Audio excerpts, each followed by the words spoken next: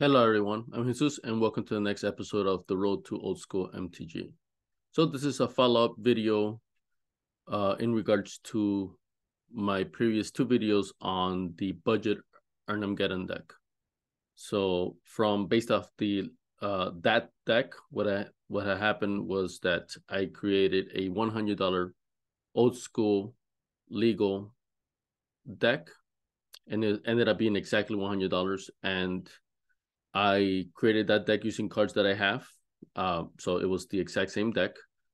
Um, maybe the additions are different, of course. Um, but theoretically, uh, you could have bought that deck for a hundred dollars. I proved it by creating the order on Card Kingdom.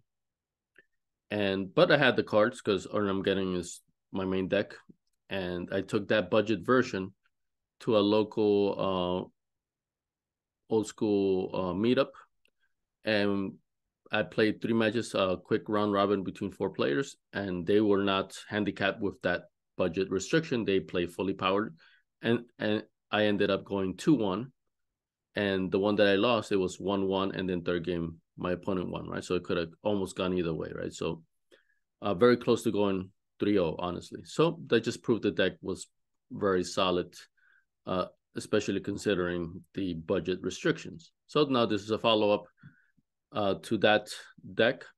So now what if you wanted to go a little above that? So I've created now another version of this deck. Um, I'm not sure if I would say it's better. At least in theory, looks better, definitely. And uh, there are some elements that I know definitely are better. Um, but some of it, it basically until I try it out, I'm not sure uh, theoretically it does look stronger, uh, actually way stronger, right? And the price difference, uh, it reflects on the price difference. So I'm just going to show you this new version, and I'll do the same thing that I did with the other one, where I will create this newer version of the budget Erhnamgeddon deck and take it to a local uh, meetup, old school meetup, and just play some games, and I'll let you guys know the results of that. Um, all right, so first let me just show the original hundred card. Uh, I'm sorry, the hundred dollar old school deck that I previously created. All right, so this is using mana stack. So this is now the oops, oops, my mistake, my mistake. This is the previous version. So that was a spoiler. So uh for Argothian Pixies, four birds, four Erhnams, four Juggernauts, two elves, to Serras, four Spitting Slugs. Only artifact main deck is Sol Ring. Four City of Brass, seven Forests, four Mishras, seven Plains, four Disenchants, four Swords, three Armageddons, Balance, Regrowth, Sideboard, three of each, Aeolipile, Black Vice, Ivory Tower, Nevinyrral's Disk, Whirling Dervish. Um, so this is the deck I took. I did pretty well. The sideboard I can't comment too much because I ended up first of all Nevinyrral's Disk was great. I ended up using that almost every game or uh, against every match. Uh, and then the other ones I just didn't feel much of a need. Um, I retire originally put against counter burn or just burn in general, but I didn't. You know, it was only three games, but I didn't face anybody with that, right? So I ended up putting some other cards, but either I didn't draw him or maybe just one time. So you know, it's not much to make a honest opinion on, right? But the this I did put in and I did draw and play a few times, and the few times I did, definitely I got a good feeling about that one, right? So I can say confidently that this is good. Um, so the um the differences in terms of you know what I wanted to change because of inefficiency were the mainly the juggernauts and the spinning slugs. Juggernauts are just way too fragile and just uh, die too easily, right? So I was, it was they were constantly getting bolted. Uh, in addition to, of course, being disenchanted and um, swords, right? Swords you expect, um, but you, you don't expect a bolt to kill one of your heftier guys, right? Of course, your bolt will kill your weenies, right? That's what their bolts are for but something that US four mana and you know is not the best, you know. Uh, you know, you wanted to stick around for longer than that, right? Plus, it's also disenchantable or crumbled, right? So very fragile. and then spinning slug is just you know it was so so you know uh, if nothing better it could stay but if there's other things that you can change maybe it could go so that's where my feeling was towards the things i wanted to change uh so now this is the version that i've created based off that feedback that i've just talked about so i added so i added black so that's the big difference now Considering I already had four City of Brasses and four Birds of Paradise, I just added one plain, uh, basic swamp in addition.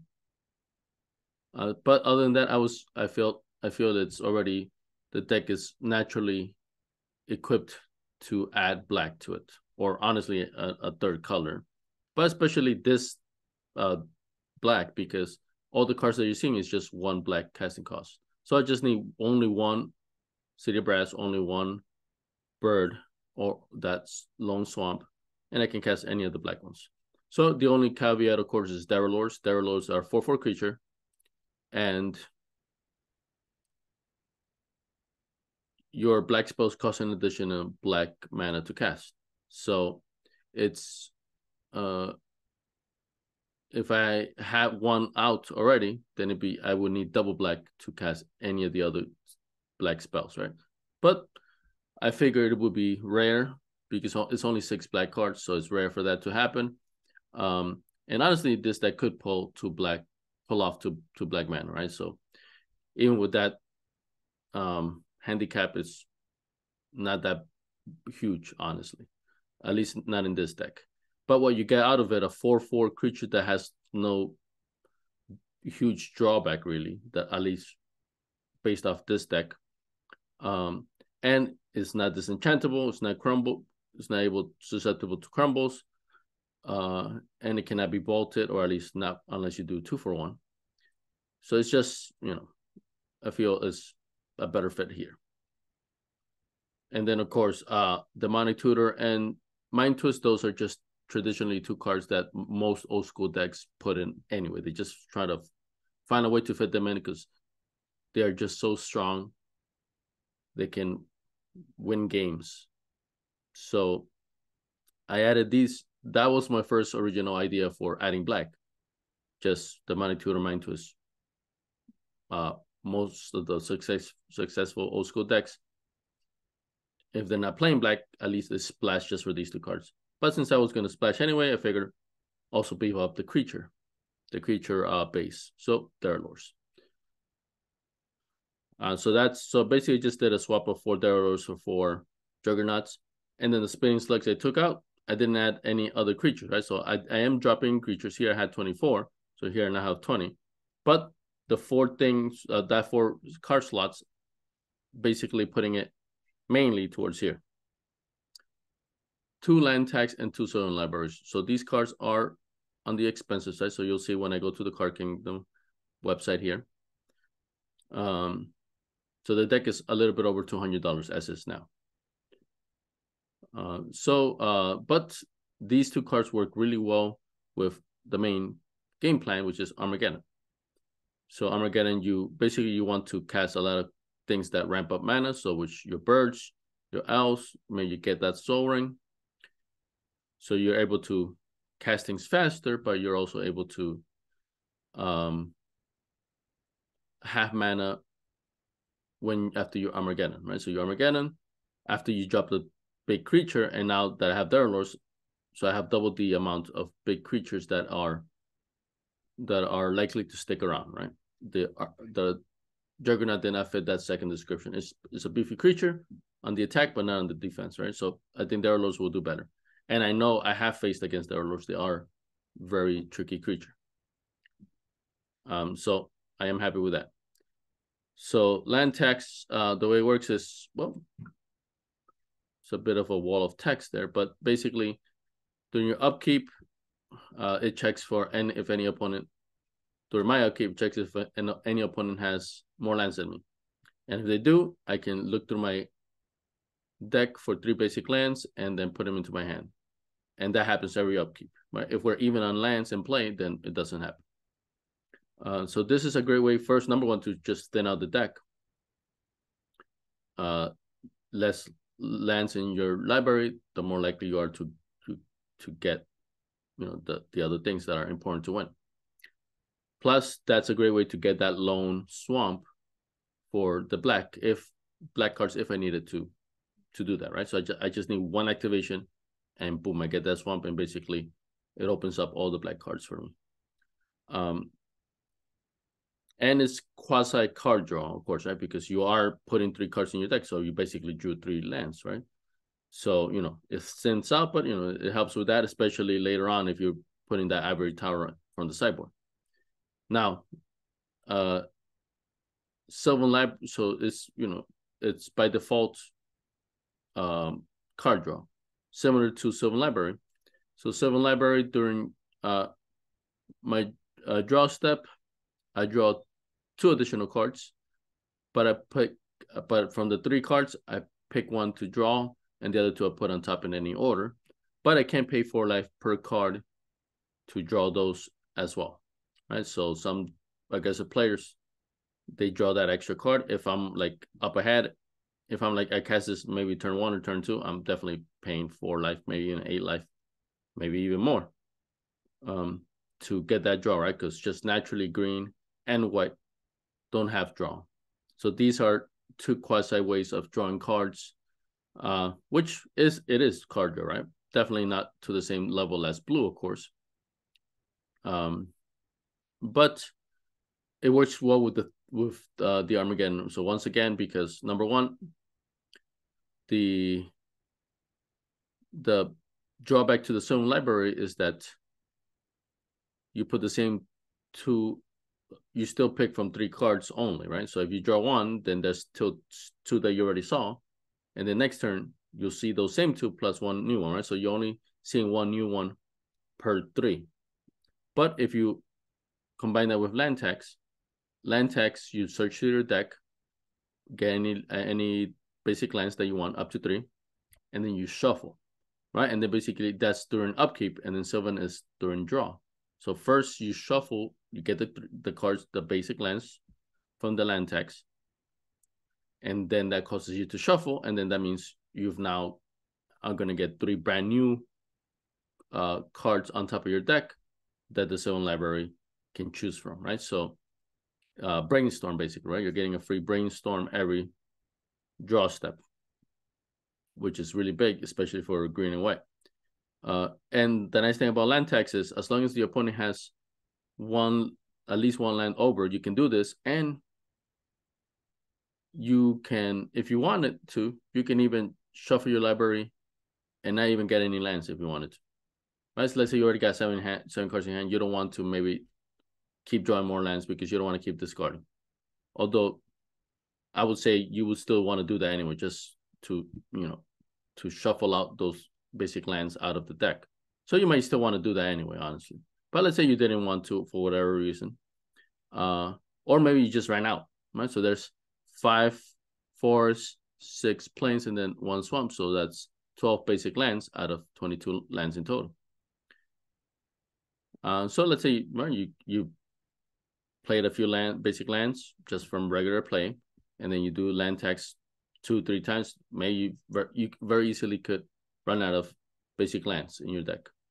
As but as long as the opponent still has one more land in uh, over you, at least one, you can still land tax for zero, and that will still cause you to look through your library and shuffle, and then you still get three new cards from the Sylvan library, right? So it's a lot of potential there for draw, um, and it forces the opponent to play lands, right? Because if you're Armageddon, but you you're able to um if you have some birds or you have a big creature out and they don't, and they have no mana, they gotta drop a land or do something to get mana to deal with it, right? So um, they are incentivized strongly to play lands, and then all you need is just really one time, and then boom, you get your three lands. If you want, if you can hold out, don't drop a land.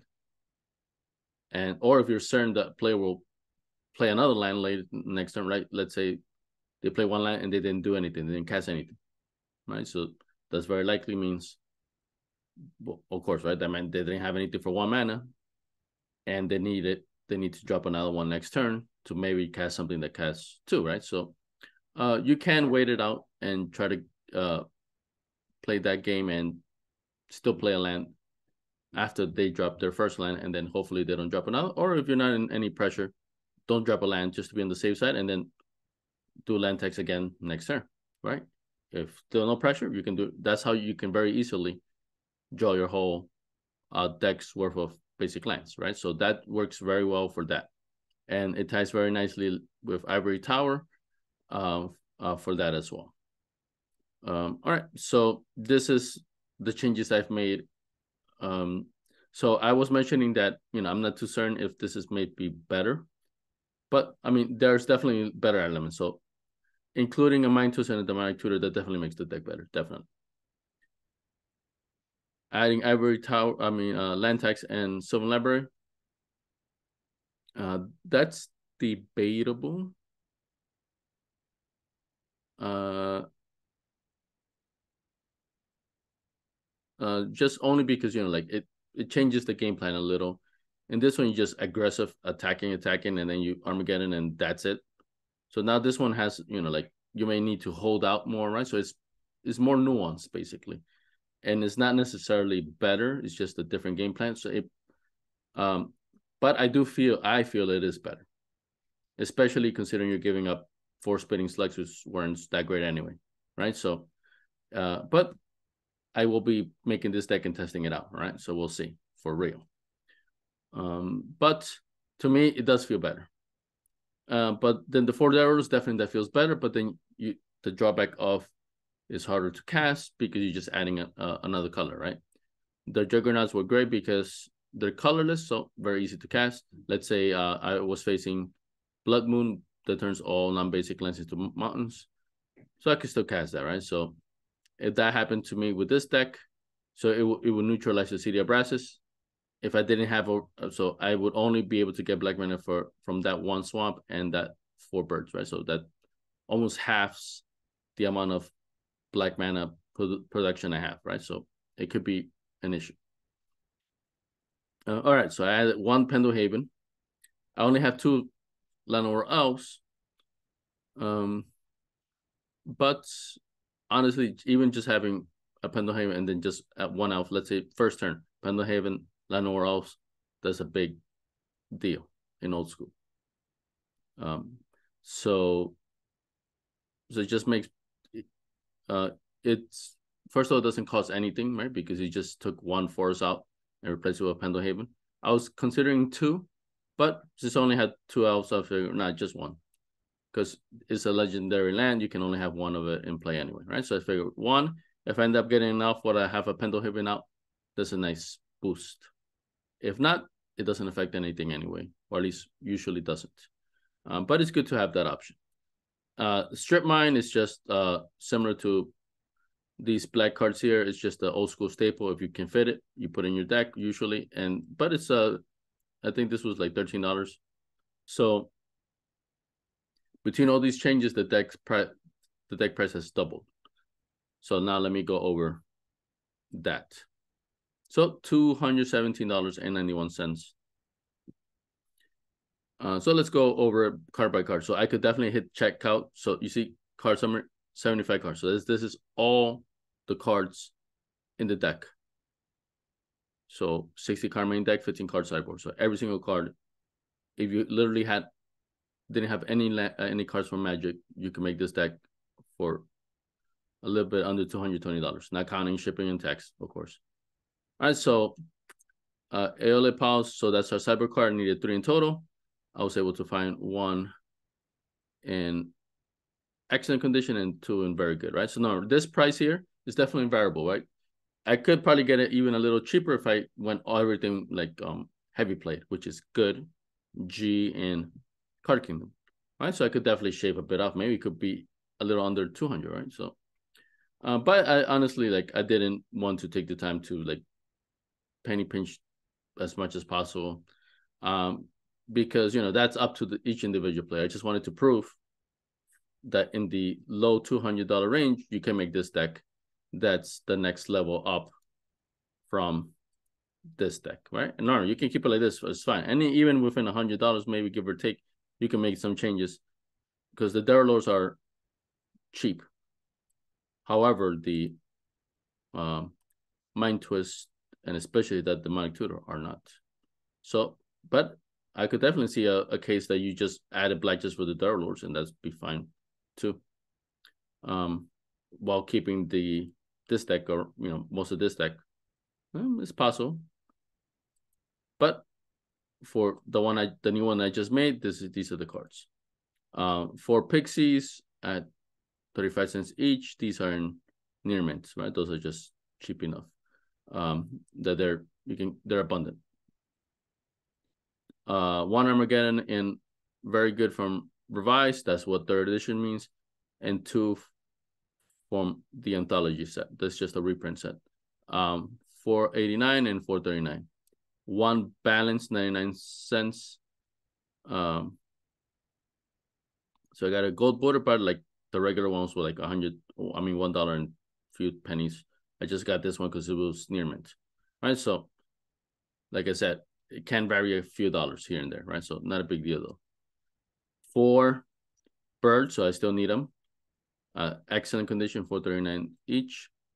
Three black vices, 41 cents each, fourth edition.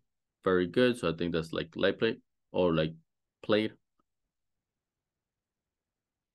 Yeah, that's plate because G is heavy plate, good, very good is plate, excellent is light plate, and then near mint is near mint. All right, four city of brasses between these two, 519 each. Here it is the magnitude of $27.94. And actually that's gone down because I've been meaning to make this video and I've been I've made this list like three times now. That's why I want to just make this video now because you keep the prices keep on fluctuating. But this I'm pleasantly surprised it went under 30. Before, like I couldn't find it under 30. Even though it is G heavy play, but still I couldn't find it period under 30. So, and I just need one, right? Because it's, it's restricted. So one from revised. There you go. There lost 50 cents, right? So two dollars you can get near mint playset, right? They're very cheap. Disenchant. So I did go down to I think I have four yeah, four decisions and four swords in this one. So I had to drop it down to three and three to fit the changes. So, so yeah, there's four cards here, four cards here. That's eight. That's the that's the between the juggernauts and the spinning slugs. But I needed two more to fit in the demonic tutor and the mind twist. So that's why I needed to take out one swords, one uh, actually, I only had three disenchants here. So I took out one source and must have taken out something else out um, to make that difference. So three disenchants at 28 cents each. Excellent condition. Um, revised. Erhnam, same thing. They're even cheaper than Derelors. Four Chronicles at 28 cents each for excellent. So like I said, this deck is, this card list includes every single card, including the basic lands. Four near mint, fourth edition at 39 cents each. Not bad. For Forest. Ivory Tower, $1.43. And I needed three at fourth edition. Excellent condition. Okay, so land tax uh, is it's like almost like double, I think, basically double the price if you got these from um, white border. So gold border, $15.29 each. So it's a big difference. It would this deck would probably be a good 250 with if this was white border, right? But this is cheaper here with the gold borders. Llanowar Elves, 69 cents each for near mint fourth edition ones for two of them. Mind twist, uh, fourth edition excellent at 439.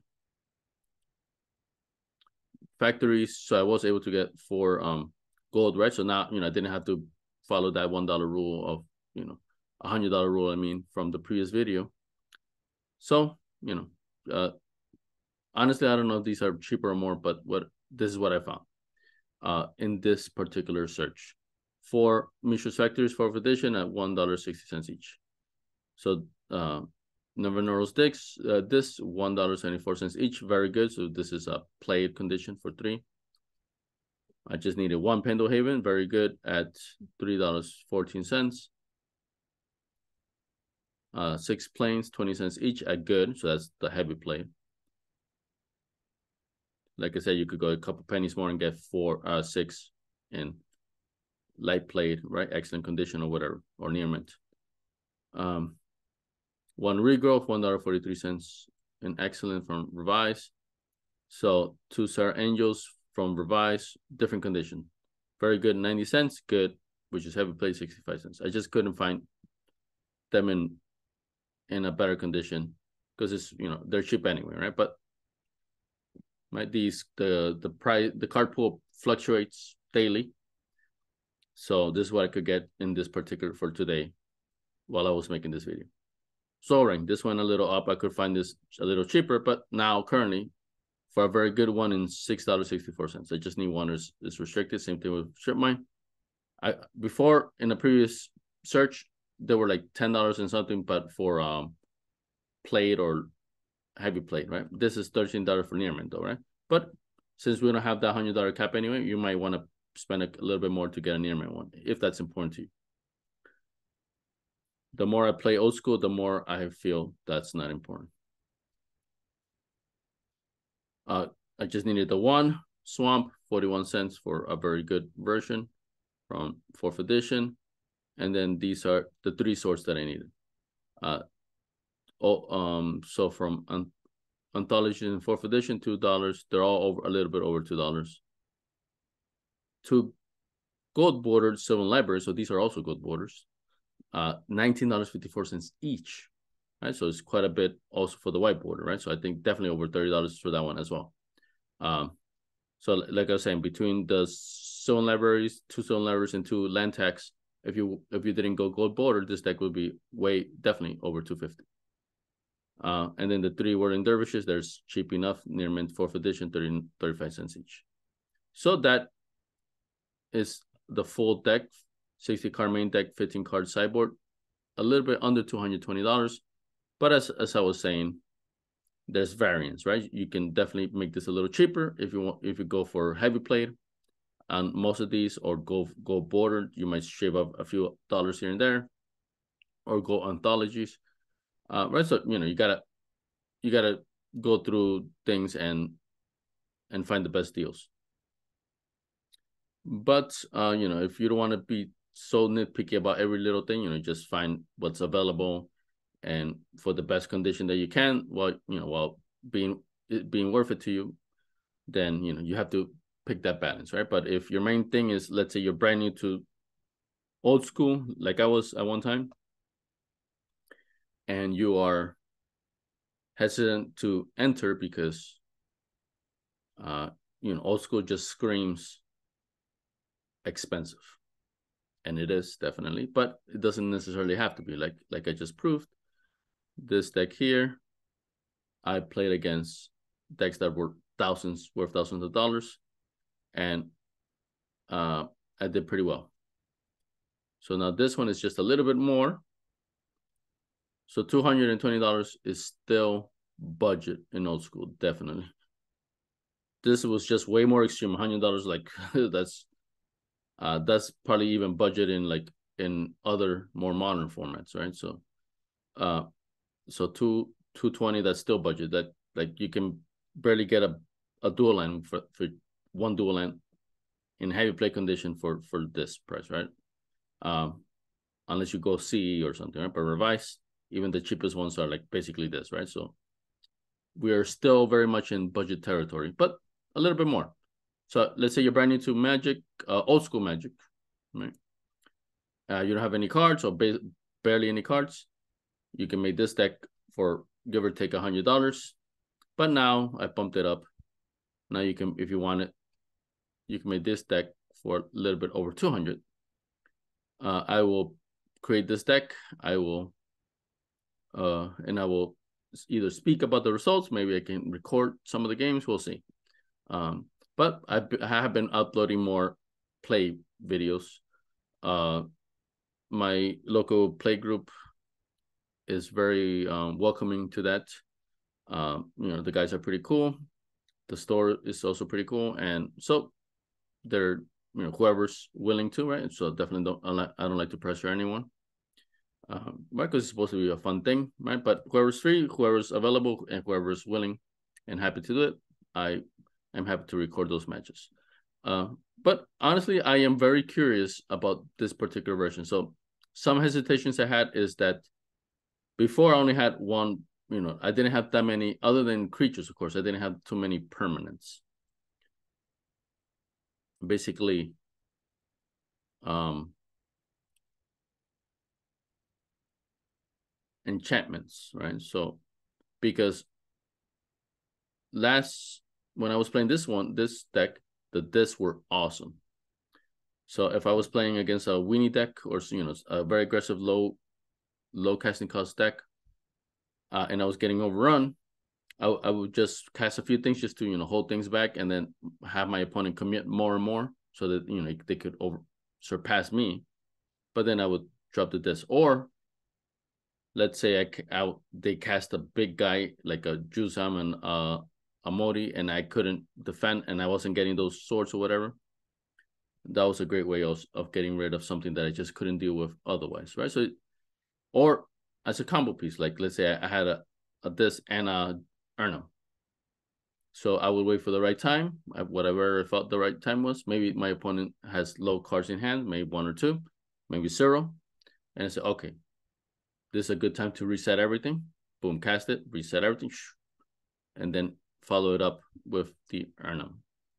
Uh, the nice thing is that you it costs four mana, but it comes into play tap, so you could you don't have that temptation to to use the ability the first that same turn. That's of course that's also a big drawback because they can destroy it before it untaps, right? But let's say it survives. Um, it only costs one mana to activate. So after you do that, is you should have plenty of mana to follow it up with more creatures, either more low, smaller creatures or a nice Erhnam, right? But now with this deck, you can follow it up with Erhnams and the Derelors, right? But this do destroy enchantments, right? So that's why this one maybe, you know, this that's one of the, the things that I was mentioning. Like, is this particularly better? Um, maybe that this don't fit here anymore. Or maybe this is, if I fit them in, these would be the cards that I sideboard out for them, right? Even though it's four, this is three, but of course, I'm, I'm sure I'm, usually you sideboard more than just, you know, on one particular card, right? You maybe want to do multiples, right? So uh, if I'm dealing with weenies, I may also want to put in Aeolipile. Um, right? So, you know, it's variable. Um, so that could be an option or I just you know just bite the bullet and have the this destroy my land tax and Sylvan Library, right? It's there's only two of each, right? So it's so uh not likely, you know, that I would have any of them and the this, right? So but you know, I I would think likely enough that it will happen in a few games. But also a nice thing about the land tax is cost one, so when cost two. So I'm very likely to get value out of them even if I end up destroying them anyway, right? So, uh, so uh, that is a little bit of an issue. I was not afraid of killing my own creatures, honestly, because right, I know my hand, right? I know what I have, and I know I can hold off to do this. Well, I guess you know the same thing could be said with the enchantments, but creatures is different. You can hold up more with creatures, but this the point of this is to give you answers, and if you're just holding it in your hand, it's defeating the purpose, right? Creatures is it still could be a little different. You know, you want to attack with them, of course, right? But if you got a disc, you may be tempted to wait for the right time, right? So, um, honestly, this version is definitely more nuanced, way more nuanced than this one, right? So, this one you basically almost always want to just cast, cast, cast, and attack. Uh, this one, um, you still want to do that, but you know, there's other interactions that can happen, and especially if you end up sideboarding the this, there's way more things to consider, right? So, but um, I am curious about this because I personally never put in black in Erhnamgeddon, my Erhnamgeddon decks. So, I play a version um, called Bantamgeddon. At least that's the name I've seen. Uh, which is basically uh, it adds blue. It has blue for the power, mm, Ancestral Recall, Time Walk, but it has blue for Serendib Efreets, which is that great three mana card slot, right? So Splitting selects two four land creature as opposed to uh for three mana. As opposed to a three four flying creature for three mana.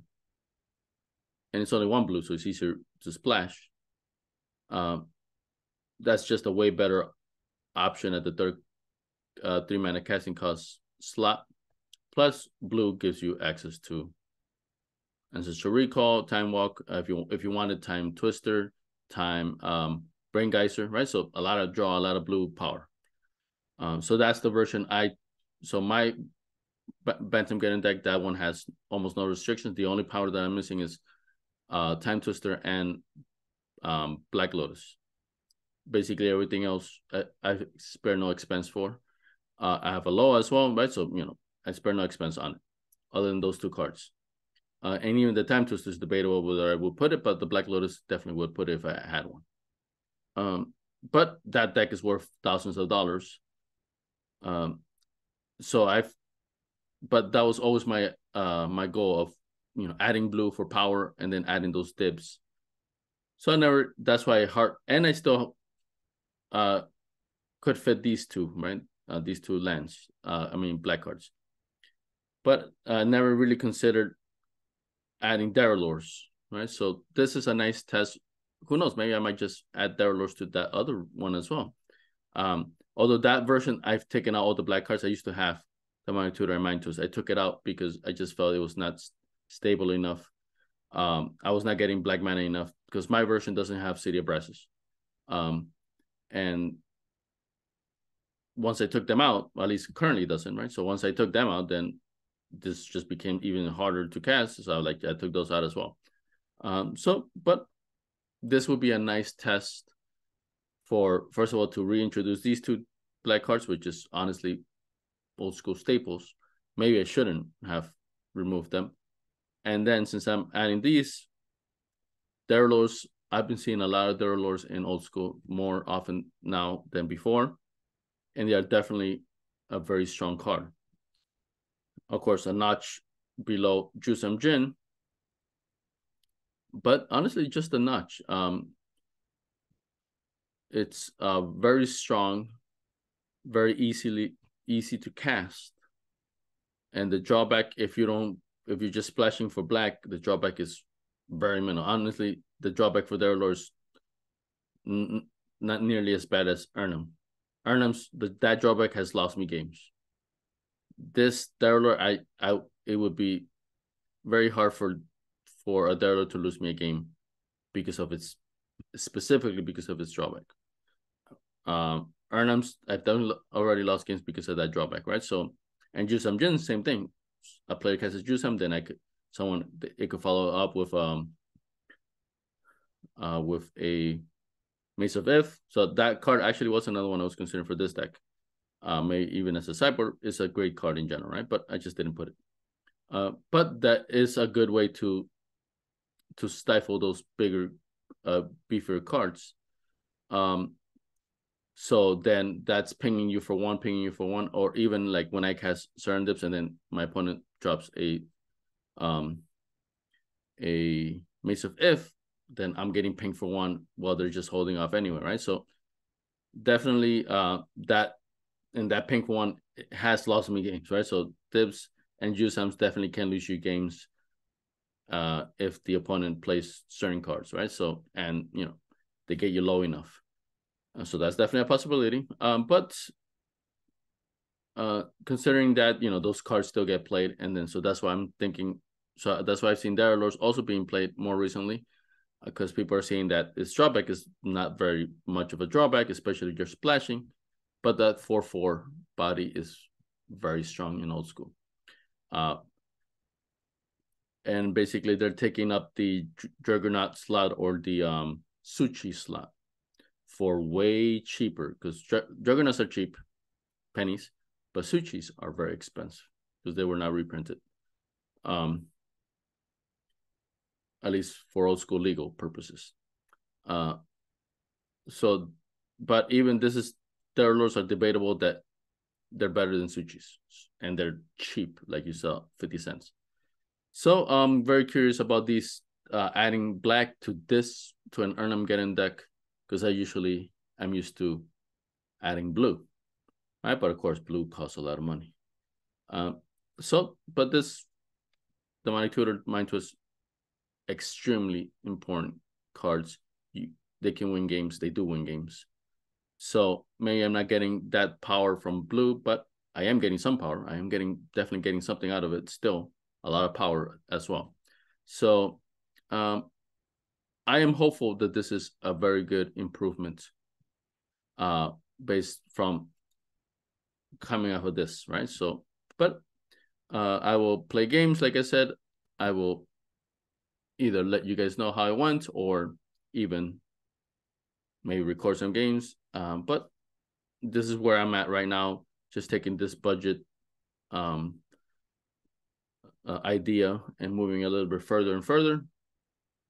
Uh, just for those who are interested in either getting into old school magic or maybe you're already in, but you don't want to particularly invest a lot to make a new deck because uh, it's so expensive to make new decks. But you want something that's still fun and competitive uh, and maybe you already have some of the cards. You just need a little bit more for the rest of them. Um, so now you have those two options, right? So the original option, one hundred dollars. Now you have this one that's slightly over two hundred. I will play games. I will let you guys know the results. Thank you for watching.